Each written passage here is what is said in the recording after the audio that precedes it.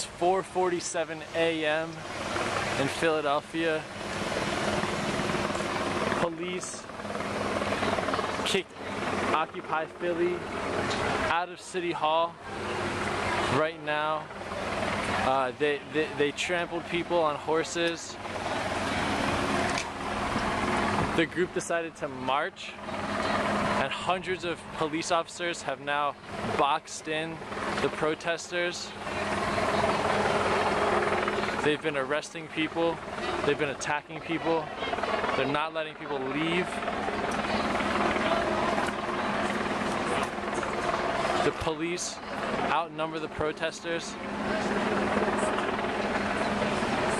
And they're going they're going to extraordinary measures to silence the Occupy movement and to stop us from talking about Wall Street and poverty